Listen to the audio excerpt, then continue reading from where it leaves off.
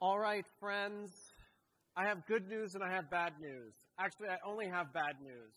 Our time for these discussions has ended right now. Actually, I do have really good news for you, though. So, I think that, uh, and my hope, one of my big goals for today, is that over the course of the last few hours, you've been able to make some new connections, identify some new colleagues on this journey that are with you. And I hope that this also makes it easier for you over the coming three and a half days to continue these conversations while we're here live and in person. I absolutely encourage each and every one of you to connect with each other on LinkedIn or however it is that you like to connect. But I also want you to remember that this week we're here together in person. And if the pandemic taught us nothing else, it, it taught us that our time together in person is precious. And we should treat it as such. So do what you can to continue those connections over the coming days. I do have just a couple of closing thoughts as we wrap up today.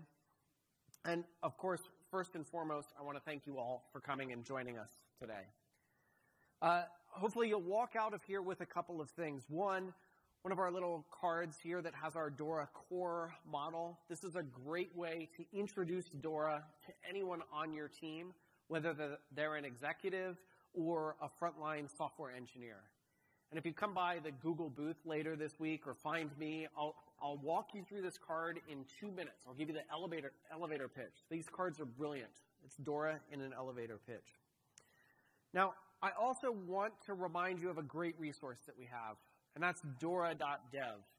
If you, if you haven't visited this page, if you haven't visited this site, I absolutely encourage it.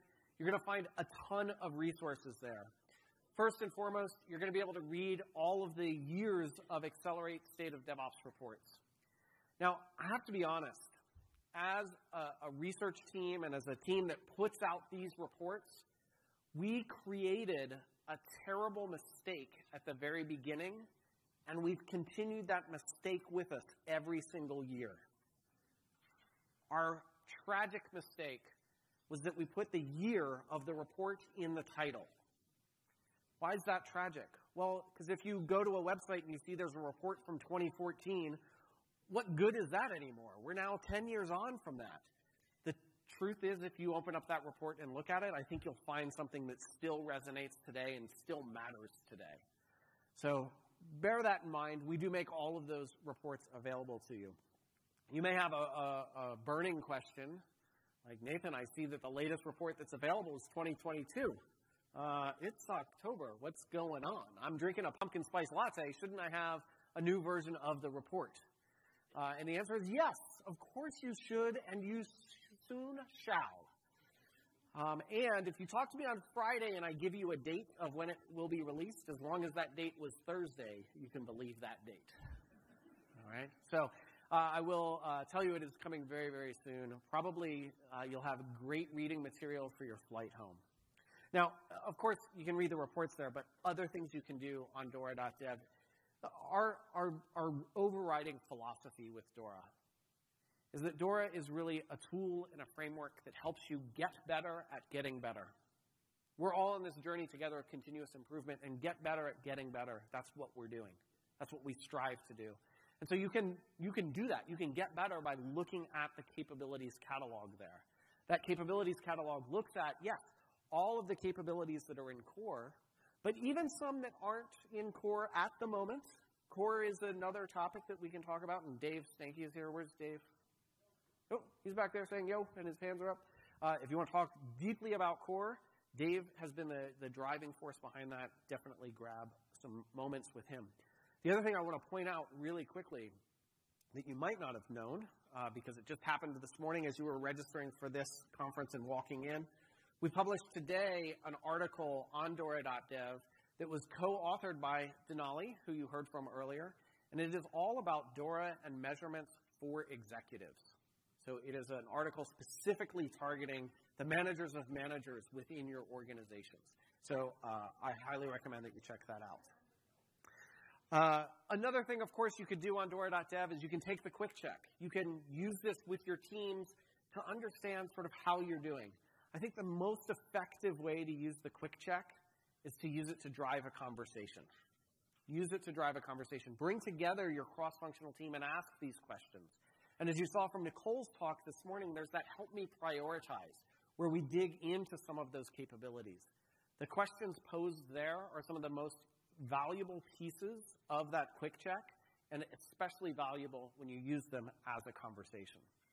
So you definitely want to be on Dora.dev and following Dora.dev and staying connected with this community. Of course, speaking of community, from Dora.dev, you can also link off to the Dora community. If you aren't yet a member of this, please, I can't encourage you enough. Join this Dora community. As, as you've heard a couple of times today, it is a Google group, and we get together online and hold discussions. Most of our discussions start off with a presentation, and then we use the lean coffee format to talk about whatever that presenter just shared. If you're not familiar with lean coffee, you're now familiar with Lean Coffee because you've just done Open Spaces. Lean Coffee is like a shortened version of Open Spaces. It's very similar to what we've done here today. So I absolutely encourage you and all of your team members to join the Dora community.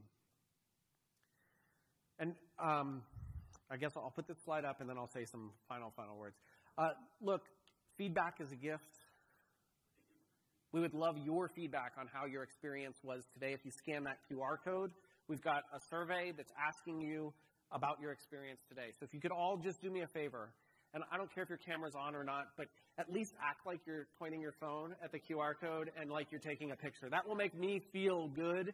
Uh, hopefully you're actually doing that and will actually fill out the survey, but as long as I get the view that people are taking a picture of it, I'm going to feel really happy.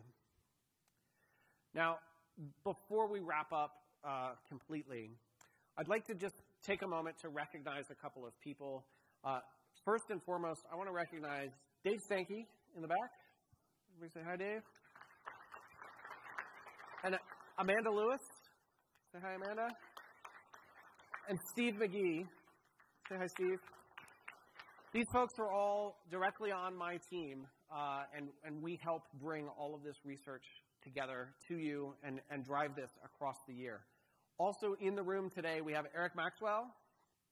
We have Kim Castillo. We have Rob Edwards. We have James Brookbank.